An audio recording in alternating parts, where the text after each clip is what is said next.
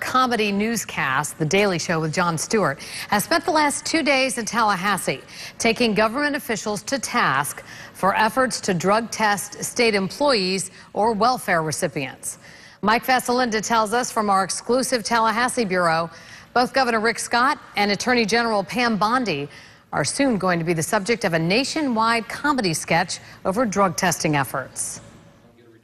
Rick Scott was in the middle of answering questions about his $66 billion budget when someone stood up in the back row with an unusual request. So would you be willing to uh, pee into this cup to prove to Florida taxpayers that you're not on drugs, you're not using them as a drug? Scott seemed unfazed I've done it plenty of times. and even appeared to be willing to accept the cup.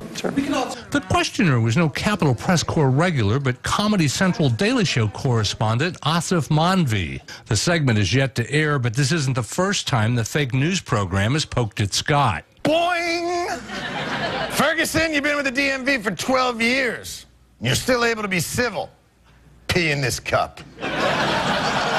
Because you must be high. The program poked fun at Scott's attempts to test both state employees and welfare recipients. Legal actions have put both the governor's drug testing schemes on hold.